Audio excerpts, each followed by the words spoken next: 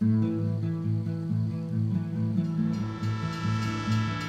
is a story about a transformation, transformation of a community, transformation of people's lives, and especially mine. My name is Liliana Garcia Davis now, because I just got married not too long ago. If you see the map of Colorado, the southeastern part of the state is always in the brightest colors, meaning we have the high incidence of poverty, one-parent families, obesity, diabetes, cardiovascular diseases, chronic conditions. I once was all those statistics.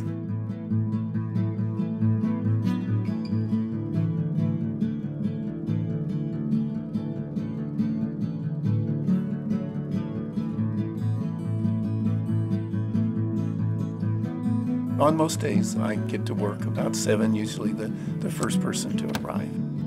My name is Jay Brook. I'm the Executive Director of High Plains Community Health Center. High Plains started back in the early 90s. At that time, there wasn't a lot of primary care resources in the area. Like many rural, remote communities in the nation, it's very hard to attract providers. And so the emergency room was used a lot. And particularly people that didn't have a lot of money really just went without health care.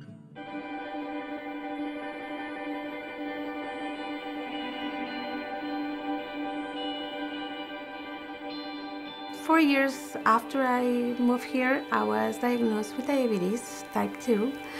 And the same year that I was diagnosed, my mom passed away with complications of diabetes. To lose your mother diabetes in February and then in May to be told you have diabetes, it just really hurt. Since uh, I started coming to High Plains as a patient, I have lost over 30 pounds. My A1C went from 8.3 to 5.9, and it's been staying like that for, I think, the past four or five years. That means that what I'm doing is working. High Plains have not only changed my life, but it changed my family's.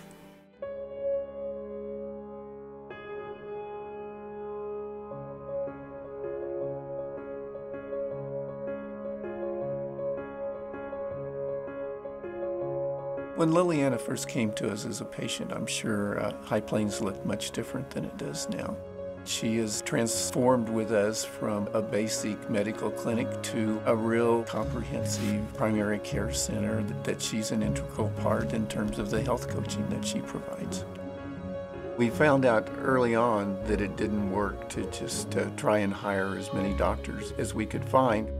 We currently only have three physicians and we're able to provide almost 30,000 visits per year because we use nurse practitioners, we use physician assistants, and we surround our providers with well-trained patient facilitators and the health coaches so that our providers do only the things that nobody else can do.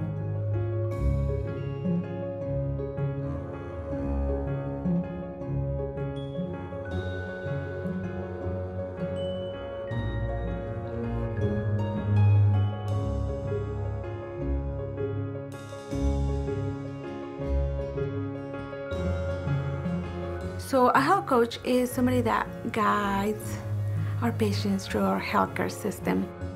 We huddle in the mornings and talk about the patients that we see in that day. Health coaches are really an extension of me. They have extra time that I don't, so they can help patients set individual goals. I have a little less stress because I can let the health coach kind of take over at the end of a visit and I can move on and I can know the message that that patient's being given. Remember last time that we met, we talked about carbohydrates. How is that going? Good. It helped a great deal. The reason we are able to change lives and have such a great outcomes is because of our teams. We treat the person as a whole, not as a number or as a chart. I'm very proud of my patients, and I always tell my patients, I am so proud of you. I am so proud of what you've done. I kind of pinch myself every day. I come to work and I say, we built that building and we serve 8,000 patients every year. And it's really a good feeling to know that, that you contributed to, uh, to making people a lot healthier.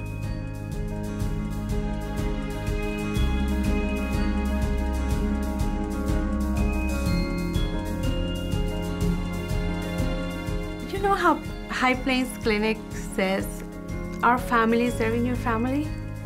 Well, that's true. That's the real thing. And I am so proud of being part of this